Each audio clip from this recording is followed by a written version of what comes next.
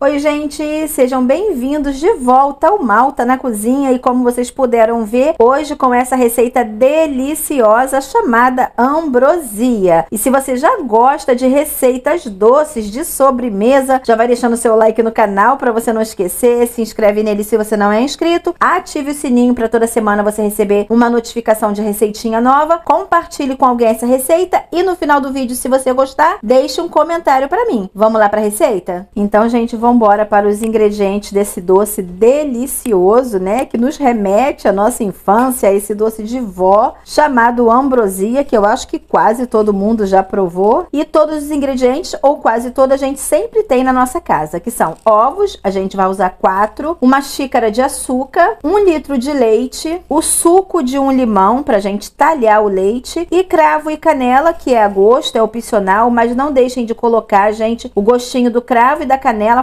toda a diferença nessa receita. Se você não tiver canela em pau, pode ser canela em pó também, ok? Eu vou dar também uma dica a vocês, ó, quando fizer essa receita, tenta usar uma panela assim alta, igual essa aqui, ou um caldeirão, porque conforme a gente vai mexendo o leite, ele vai subindo. Então, para não te atrapalhar na hora de fazer a receita, é bom ter uma panelinha alta assim, ok? Primeiro passo da receita é a gente botar, ó, a xícara de açúcar aqui na panela para derreter, como se fosse aquela caldinha do pudim, ela vai ficar mais ou menos assim. Enquanto o açúcar tá derretendo, gente, para virar o caramelo ali na panela, ó. Eu já vim aqui adiantar, já bati os quatro ovos, já espremi o suco de um limão que já tá aqui, porque depois que virar caramelo, a gente tem que fazer o processo passo a passo que eu vou mostrar para vocês. E se vocês já estão gostando dessa receita, não esquece o like de vocês aqui no canal. Quem não é inscrito, não esquece de se inscrever, ativar o sininho, compartilhar essa receita com um amigo. Pergunta a ele, você lembra do seu doce de leite da infância? Vou te mandar um link você vai gostar, porque fazendo assim Assim você ajuda o canal a crescer. E não esquece, no final do vídeo, de deixar um comentário aqui embaixo pra mim. Deixa eu dar uma dica pra vocês. Ó, eu sempre faço esse caramelo em fogo baixo. Pra gente não deixar queimar, né, gente? Porque se queimar, fica um gosto amargo. E não é esse o intuito da receita, né? Estragar ela. Então a gente vai mexendo devagarzinho, com fogo bem baixo. O que vai determinar também a cor do doce é a cor do caramelo. Se você quiser ele mais moreninho, o doce vai ficar mais moreninho. Se você deixar ele assim, ó, nesse ponto, o doce vai ficar mais mais clarinho, tá? Isso aí vai depender muito de gosto para gosto. Mas fazendo assim, ó, derretendo o açúcar, porque tem gente que já faz com açúcar tudo junto, com leite. Mas se você derreter e fizer esse caramelo, fica um gostinho todo especial na sua ambrosia. Vou colocar a primeira remessa de leite, ó.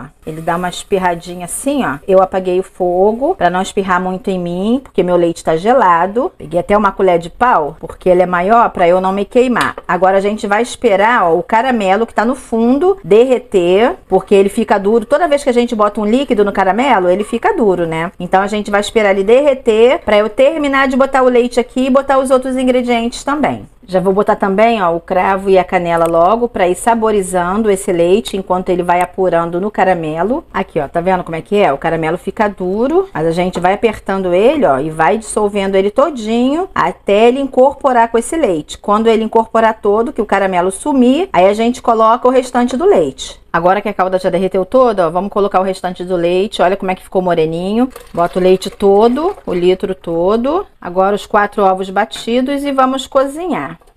O segredo da ambrosia, gente, é não ficar mexendo para a gente ter aqueles grânulos grandes dos ovos quando estão cozinhando. Então a gente sempre vai fazendo assim, ó, vai puxando de fora para dentro para dar uma misturadinha sempre de leve e deixar cozinhar.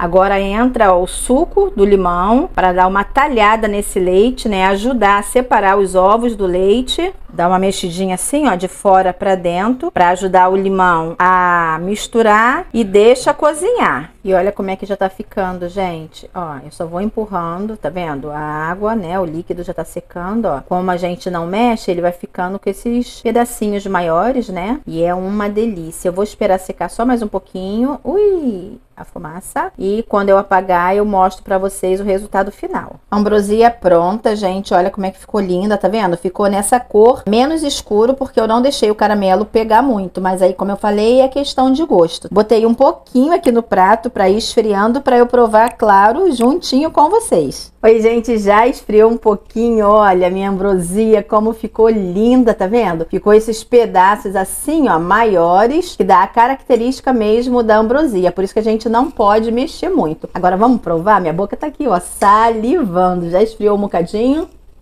Hum. Hum. Gente, eu não sou muito amante de coisa doce. Eu prefiro salgada, mas desde criança que eu amo esse doce, gente. E quem não conhece, faz um pouquinho para você experimentar. hum. É muito bom. Sempre quando eu vou para aqueles lados de Minas, né, viajo para lá, eu sempre trago, porque vendem ele em compota, né? Mas eu vou falar, não é a mesma coisa da gente fazer em casa. É muito delicioso, ó. Só mais uma, tá? hum.